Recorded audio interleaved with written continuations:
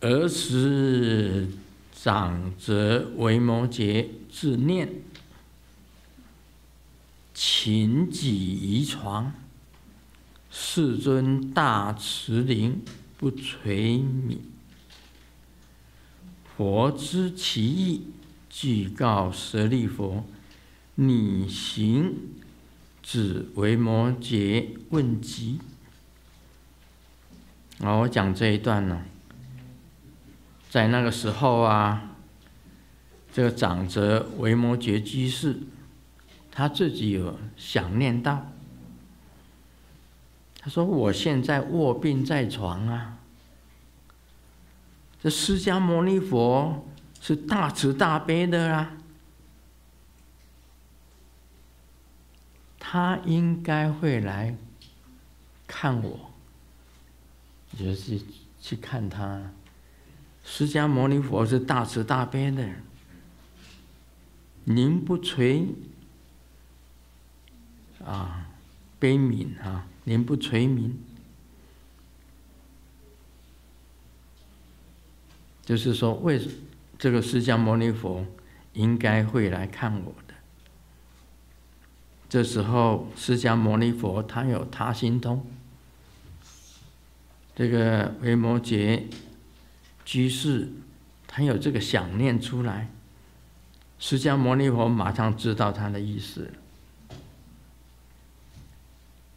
佛知其意，呃，他一念有这个念头，释迦牟尼佛就知道他的意思了。他就告诉舍利佛，即告舍利佛：“你行止为摩诘问疾。”也就是说，你去探望维摩诘一下，告诉舍利佛，释迦牟尼佛他第一个就是叫舍利佛去看望、去探病。哦，舍利佛的地位仍然是很高，因为有的人讲说啊，释迦牟尼佛第一大弟子。可能就是大企业吧，其实差不多了。大企业跟舍利佛都是大弟子。我们看过那个十大弟子传哈，那个佛的十大弟子传。那么舍利佛跟大企业、释迦牟尼佛都非常重视。还有穆建连，啊穆建连，当初的时候舍利佛本身。他是外道，穆建连也是。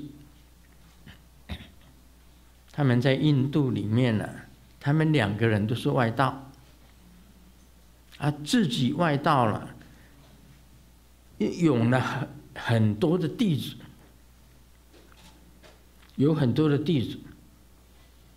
后来他知道释迦牟尼佛的这个佛法是非常好的。他们虚带的很多的弟子，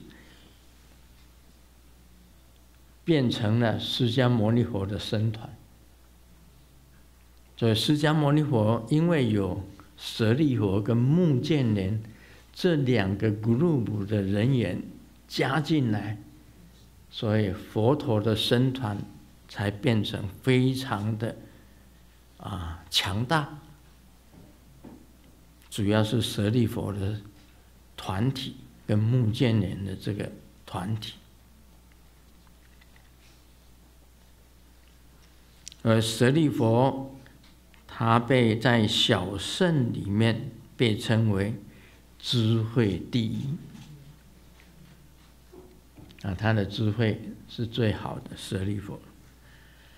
那在大圣里面呢？智慧第一的是文殊师利，满珠师利啊，文殊师利法王子就是文殊菩萨了，被大圣里面尊为智慧第一的。释迦牟尼佛就马上跟舍利佛讲：“你去看维摩诘吧，去探病了。”